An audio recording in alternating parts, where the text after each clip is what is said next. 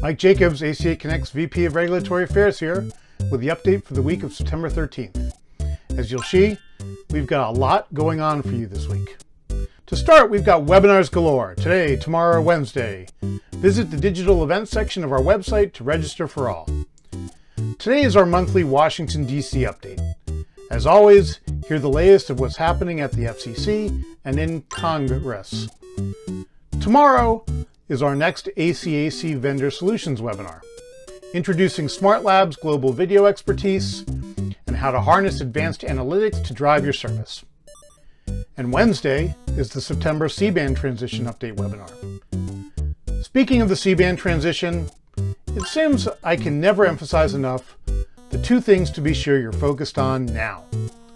One, if you're handling the transition yourself, you have one or more Earth stations in or near a Phase 1 area, and you don't yet have your red filters, pause this video right now and order them.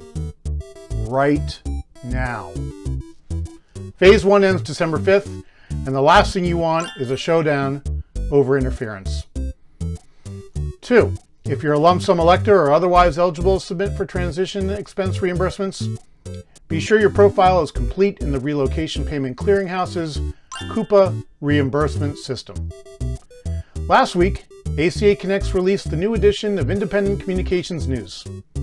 Click on the ICN link at the top of our website for some great reading.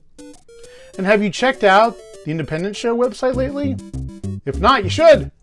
We've updated the agenda for the virtual show and added more details about the sessions. Make sure you sign up to attend before it's too late. Finally, it's never too late to authorize the ACA PAC, man. Go to the member lounge of our website and click ACA PAC to fill out your authorization today. This is the last week of summer. Whether you're heading to the beach for one last hurrah, or luxuriating one evening with some refreshing margaritas, make it a good one. Bye now.